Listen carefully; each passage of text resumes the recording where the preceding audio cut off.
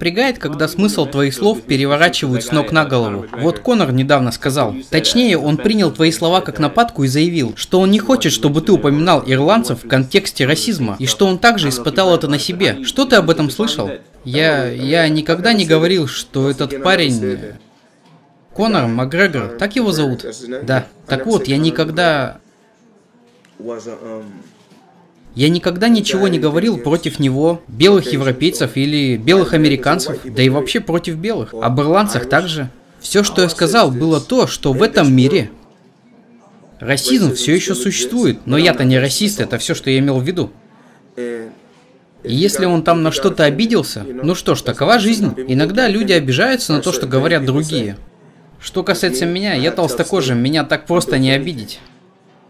Послушай, а каково это? Когда что бы ты ни сказал, что бы ты ни сделал, то набегают все подряд и начинают из этого высасывать всякое. Тебе приходится больше думать над словами или что? Но у меня к этому такое отношение. Такова жизнь, так что похрену, чему быть, того не миновать. Когда я говорю, я говорю от всего сердца и говорю правду.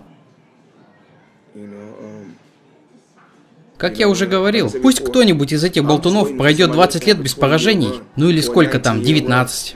Из этих 19 лет я был чемпионом мира 18 лет. Такого никто не достигал. За первые полтора года я провел 17 боев.